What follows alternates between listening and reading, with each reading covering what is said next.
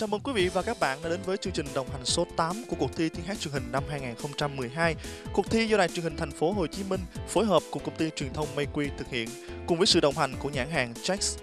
Quý vị và các bạn thân mến, cuộc thi tiếng hát truyền hình năm 2012 đã đi được một nửa chặng đường với nhiều sự bứt phá thú vị cũng như đã làm nổi bật được cá tính của từng thí sinh.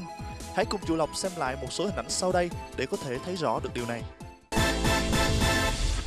Hồi chi hồi chi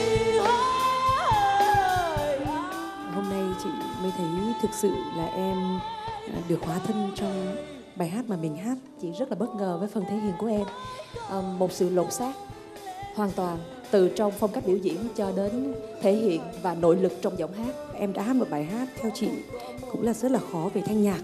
Một bài trường ca rất là nhiều khúc đoạn và em đã xuyên suốt được bài hát của mình cần tinh tế hơn có những đoạn cao trào kịch tính thì mình đã làm rất tốt. Tuy nhiên có những đoạn phải thể hiện rõ cái sự tương phản trong sắc thái giọng hát. Có những lúc mình cần phải mềm dịu và tìm một cái sự đau đớn trong đó. Chị mong rằng ở lần sau, khi mà em không được hát cái dòng dân gian đương đại nữa, là rock hoặc là pop cũng đều hay như thế này. Chung kết đầu tiên, Vũ Minh Trang là thí sinh có số điểm thấp nhất trong số 8 thí sinh.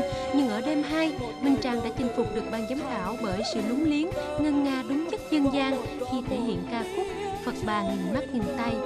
Cũng vì thế, thí sinh này đã nhận được số điểm khá cao, để do kết quả từ đêm đầu nên hiện sau hai đêm, Minh Trang vẫn còn đang nằm trong nhóm nỗ lực và cần sự bứt phá mạnh hơn nữa trong hai đêm còn lại.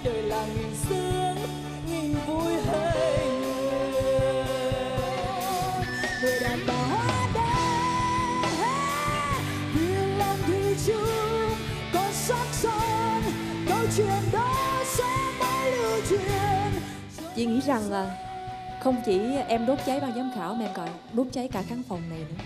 Chị đòi hỏi hơn nữa đó là cái cập nhật hơn về các cái thể loại nhạc rock mới. À, bởi vì bọn em đang các em đang sống trong cái thời đại 8x 9x thì cái nhạc rock cũng phải mang hơi thở cái cuộc sống của các em. Cái kết của em nó phải rực lửa hơn nữa.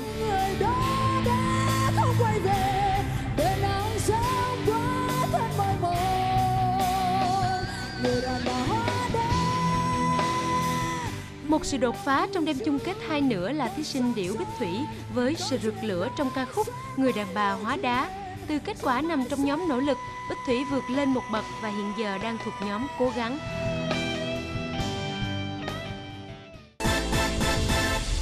Các bạn thí sinh thấp điểm hơn đang từng ngày nỗ lực và rõ ràng sự nỗ lực của các bạn đã được đáp trả một cách xứng đáng qua số điểm của ban giám khảo. Còn các bạn thí sinh trong nhóm tự tin thì sao? Chúng ta hãy cùng nhau xem lại một số hình ảnh của các bạn trong đêm thi chung kết 2 vừa qua.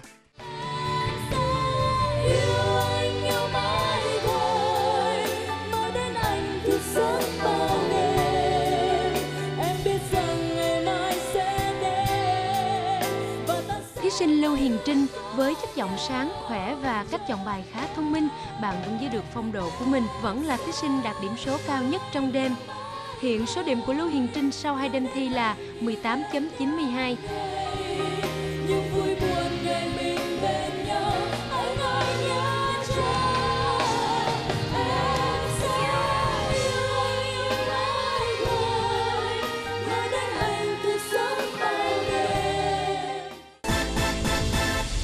những sự bứt phá như trên thì cả 8 thí sinh buộc phải nỗ lực rất nhiều rất nhiều nữa. Không chỉ có các bạn thí sinh trong nhóm cố gắng và nỗ lực mà kể cả các bạn thí sinh trong nhóm tự tin nữa. Vì chỉ còn hai đêm nữa thôi, biết đâu các bạn thí sinh trong nhóm cố gắng và nỗ lực sẽ lật ngược được tình thế thì sao? Còn bây giờ hãy xem các bạn thí sinh của chúng ta bật mí gì cho đêm thi ngày mai quý vị nhé. Trong đêm thi thứ ba này, Chilin đã quyết định hát theo phong cách mộc với phần tự đệm đàn piano à, và Celine hy vọng qua ca khúc này Celine sẽ tạo dựng nên một cái hình ảnh à, một người đàn ông lịch lãm gần gũi và đầy sự trìu mến. Ở đêm thi thứ ba thì Huy lựa chọn một ca khúc nhạc trẻ để thể hiện bản thân mình là một sáng tác của nhạc sĩ Nguyễn Thu Trang, ca khúc Trốn tình. Huy mong với ca khúc này thể hiện sự trẻ trung với giọng hát mãnh liệt của mình. Đêm thứ ba này, Ngọc Thiện sẽ gửi tới các bạn bài hát Tấm áo chia sẻ mẹ vá năm xưa thể hiện theo phong cách mộc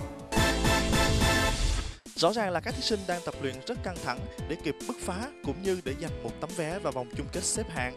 Bên cạnh đó, các thí sinh cũng rất cần sự ủng hộ từ phía quý vị khán giả. Chính vì thế, quý vị đừng quên nhắn tin bình chọn cho những thí sinh mà mình yêu thích nhé. Giải nhất 100 triệu đồng, giải nhì 60 triệu đồng, giải ba 40 triệu đồng, giải tư 20 triệu đồng, 4 giải khuyến khích, mỗi giải 5 triệu đồng.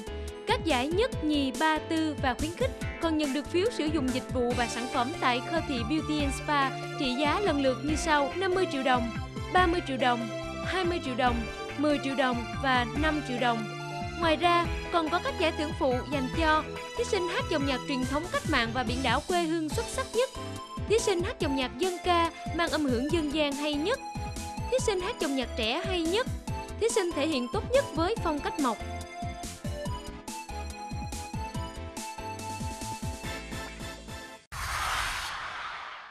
Đầu từ 21 giờ mỗi tối thứ sáu, tổng đài nhắn tin 8483 sẽ chính thức tiếp nhận tin nhắn bình chọn cho các thí sinh. Việc bình chọn này sẽ có dài đến hết 20 giờ 30 tối thứ sáu của tuần kế tiếp. Để bình chọn cho thí sinh mình yêu thích nhất, soạn tin nhắn THTH khoảng trắng mã số thí sinh gửi đến tổng đài 8483.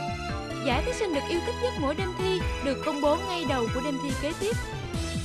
Sau đêm chung kết 4, thí sinh nào ở vị trí thứ tư hay thứ năm nhận được tổng số bình chọn cao hơn từ khán giả sẽ nhận được chiếc vé cuối cùng có mặt trong đêm chung kết xếp hạng.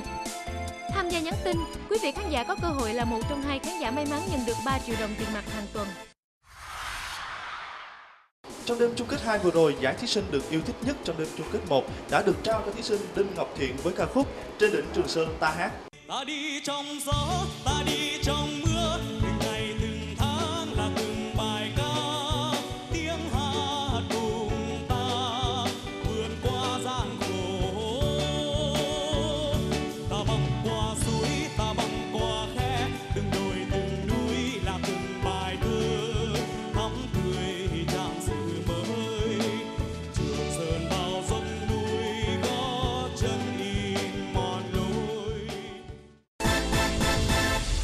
Hãy tận dụng ngày cuối cùng này để cùng nhắn tin cho thí sinh mà quý vị yêu thích trong đêm thi chung kết 2 vừa rồi nhé.